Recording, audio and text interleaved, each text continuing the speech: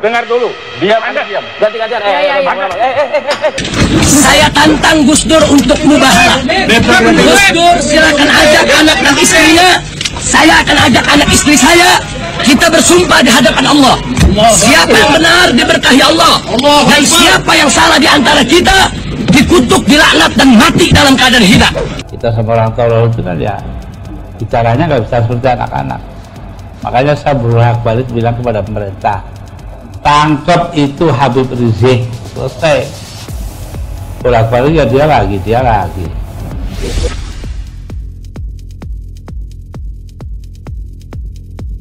Organisasi bajingan. Tulis saja bajingan, Sarah ragu-ragu. Saya bilang begitu. Saya bilang pada istri saya, udah pulang aja pulang pulang ngapain? Saya dengar Kiai Maman dari PKB Majalengka atau Jawa Barat atau DPP itu masuk rumah sakit gara-gara itu. Ya inilah kalau yang pegang urusan itu penakut ya begini ini.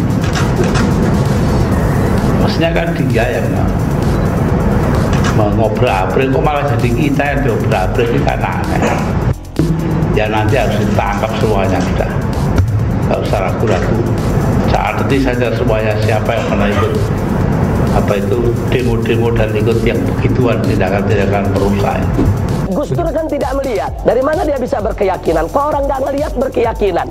Gus Dur itu buta mata juga buta hati. Ya. Ini ibu-ibu mengambil tindakan sendiri, Oke. ya. Ini kan sebetulnya kalau dalam perspektif beliau ini tidak masuk. Kekerasan ini. Bu, nggak masuk kalau di Sorong di Papua. Tapi ya, di Kalau Sorong yang di Papua, tapi daerah lain Anda mungkin nggak loh. tahu. Kalau, eh, dengar dulu, Anda nggak tahu apa yang saya maksud. Dengar dulu. diam Anda diam Ganti gantian. Eh, Ya, ya, eh, ya. eh, eh, eh, eh, eh, eh. Anda diam kalau eh, saya ngomong.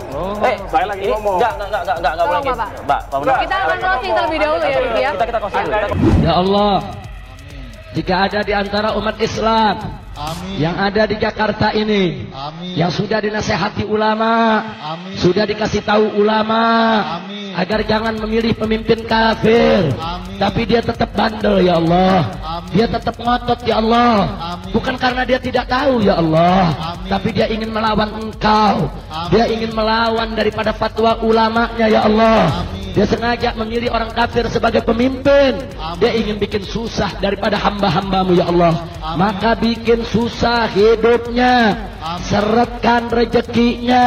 Amin. Jangan berkahi nafkahnya. Jangan sembuhkan penyakitnya. Biar dapat penyakit yang belum ada obatnya. Biar susah jalan hidupnya. Biar dipecat dari tempat kerjaannya. Amin. Biar ditinggal lari bininya biar lakinya kawin lagi. Biar anak-anaknya ngelawan sama dia. Biar hidupnya tidak bahagia. Nggak dapat anak keturunan yang solihin dan solehat. Hidupnya hancur-hancuran. Nggak ada berkah. Susah tiap hari. Sedih tiap hari. Gunda gulana tiap hari. Hindari semua laknat. Apa itu laknat? Semua kalimat buruk atau doa yang berbau buruk. Ya, ya. Kalau ini bapak ibu-ibu pernah lakukan, minta kepada Allah istighfar khusus untuk kalimat-kalimat itu. Saya tantang Gus Dur untuk mubahalah. Gus Dur silakan ajak anak dan istrinya. Saya akan ajak anak istri saya. Kita bersumpah di hadapan Allah. Siapa yang benar diberkahi Allah. Dan siapa yang salah di antara kita dikutuk, dilaknat dan mati dalam keadaan hina. Jadi saya tantang Gus Dur untuk mubahalah. Ayo. Kalau memang Gus Dur berani merasa dirinya benar, mari kita mubahalah. Hei Gus Dur, kau bawa kau punya istri, kau bawa kau punya anak, saya akan bawa saya punya istri dan saya punya anak. Buktikan di hadapan Allah untuk kita saling bersumpah. Saya tantang Gus Dur untuk mubahalah. Kalau Gus Dur benar dengan pembelaannya terhadap Ahmadiyah, saya dan keluarga yang dikutuk oleh Allah mati dalam keadaan hina. Tapi kalau saya yang benar, yaitu ingin membubarkan Ahmadiyah, maka Gus Dur, istri dan anak akan dikutuk oleh Allah dan mati dalam keadaan hina. Allah pemerintah melarang aktivitas FPI dan akan menghentikan setiap kegiatan yang dilakukan FPI karena FPI tidak lagi mempunyai legal standing baik sebagai ormas maupun sebagai organisasi biasa.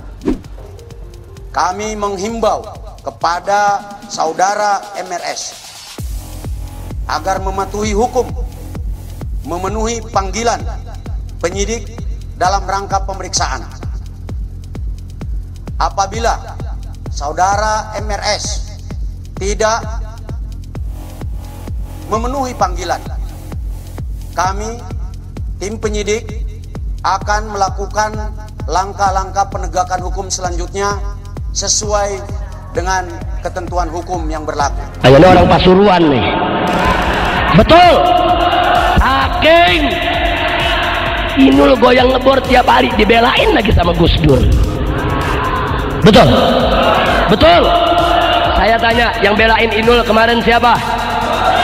Siapa yang belain Inul? Siapa yang belain Inul? Yang nggak jawab anak buahnya Inul tuh. Siapa kemarin yang belain Inul? Terus yang belain grup band Dewa.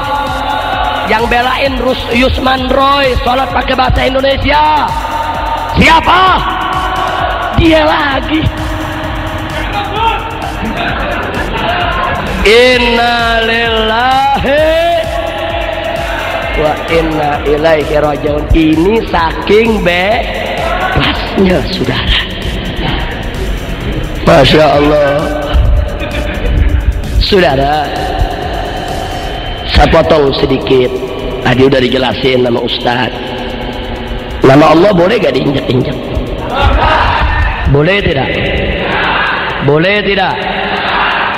Allah berfirman dalam Al-Quranul Karim Faqala ta'ala Sabbihisma rabbikal a'la Sucikanlah nama Tuhanmu yang maha ting tinggi. Nabi kita tercinta Sayyiduna Muhammad sallallahu alaihi wasallam.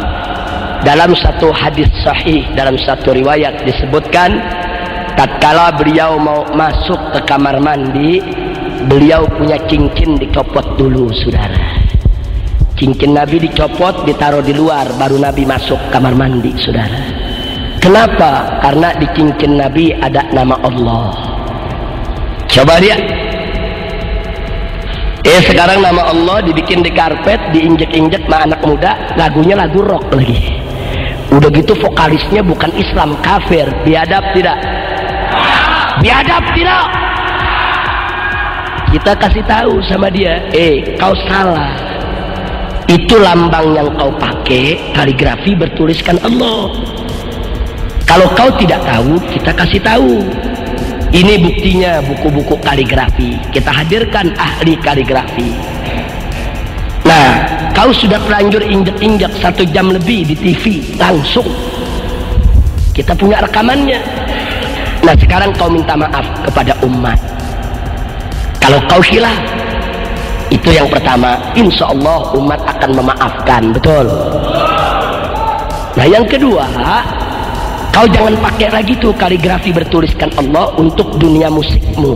Betul. Supaya di kemudian hari jangan sampai teru terulang. Kita udah kasih tahu. Tobat, minta ampun kepada Allah. Eh bukan dia tobat ngelapor ke Gus Dur. Ya Allah, dia datang dia tanya Gus Dur, Gus Gus, ini tulisan Allah bukannya? Mana dia tahu?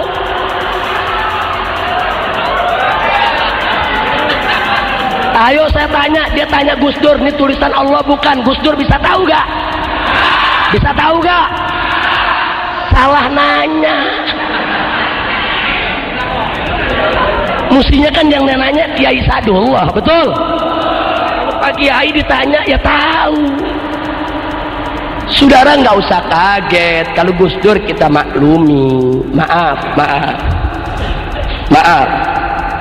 Andai kata Inul goyang ngebor tanpa pakaian bugil depan Gus Dur, Gus Dur nggak dosa. Lo betul kok. Dosa gak? Gus Durnya dosa gak?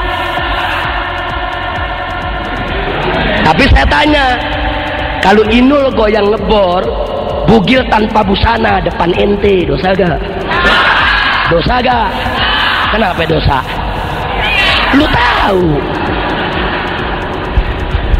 Nah, jadi hukumnya beda. Buat Gus Dur sama buat kita beda. Betul. Waktu minta bantuan Gus Dur eh Gus Dur pakai ngebelain lagi iya. Udah gitu pakai ngomong di TV itu Habib Rizik umatnya mana? Iya.